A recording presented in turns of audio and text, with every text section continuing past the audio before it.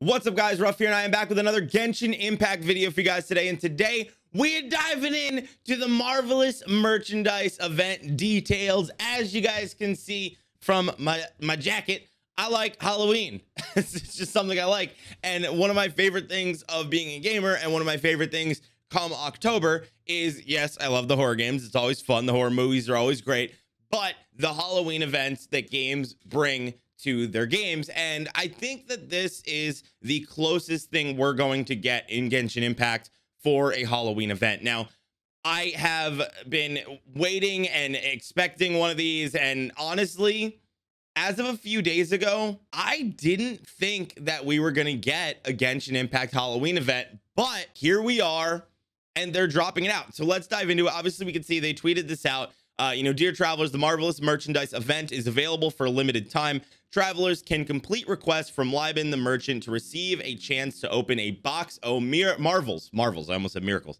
Uh, check out the details here. So I have that open right here. So if we go here, obviously you can see like the pictures of all the presents, which is why I have a feeling it has something to do with Halloween. Like if, if they release this in like end of November, December, I would have thought it was maybe like a Christmas holiday kind of thing because the presents. But the fact that it's so close to Halloween, I feel like it's pretty obvious. So if we go through here, the Marvelous Merchandise event is available for a limited time and the corresponding missions have been added to the Battle Pass.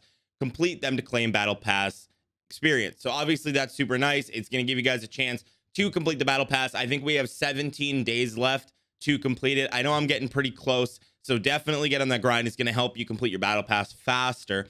Uh, so what we see right here, mission criteria in battle pass missions this battle pass period. Travelers can complete requests from Liben the Merchant to receive a chance to open a box of marvels. So obviously it started today. Actually, no, it starts in two days. I lied. Um, so this is going to be starting at two days at four o'clock. I don't know. I, I think that's 4 a.m. Uh, you know, if you're looking, well, I guess it depends on where you live, right?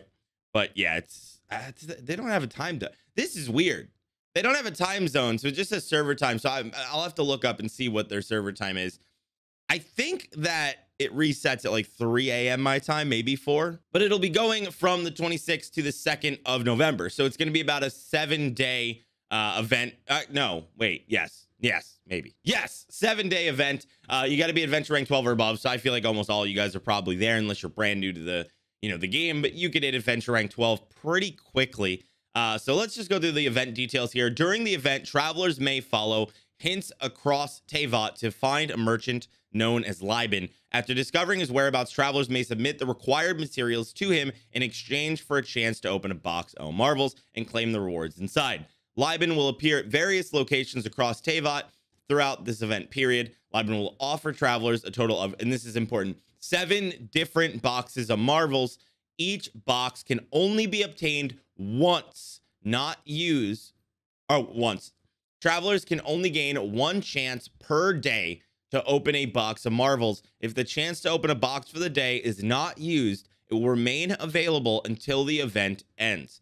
If necessary, travelers can use all of their chances at once anytime before the event ends.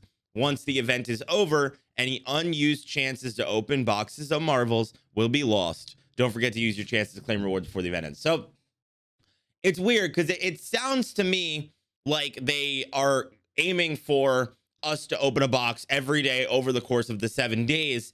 But then the fact that it specifies that you can use any remaining available towards the end of the event, I don't know if that means you can ignore it for six days, come in on the seventh day and get all seven boxes.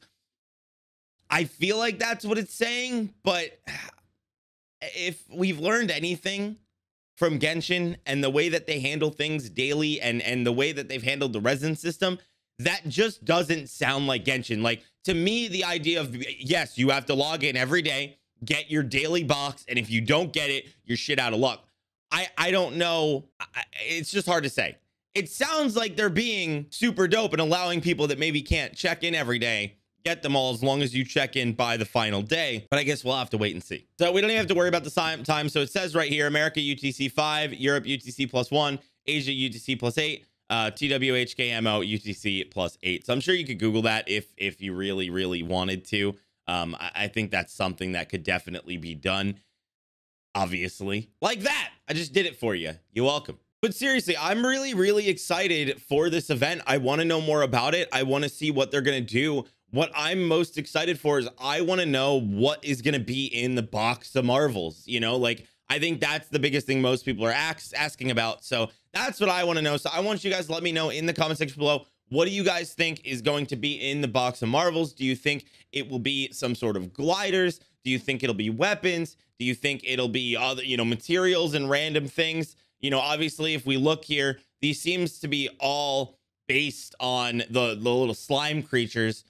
I don't know if that means something, but I guess we'll see as it progresses. But seriously, I'm curious what you guys think. I would love, love, love, love, love, love, love, love, love, love some Halloween skins. And even if they didn't implement skins now, I would love to see some like Halloween. Oh, what would be the word? Some like Halloween gliders, like a glider with some jack o' lanterns on it that match my jacket. Sounds absolutely awesome. And I really hope they do something like that, but I don't know if they will, but we'll see. So thank you guys so much for hanging out with me today. If you like the video, be sure to click that like button. If you're new here and you want some more Genshin Impact content, click that subscribe button. I will be covering this a little bit more once it actually drops on the 26th. So definitely stay tuned.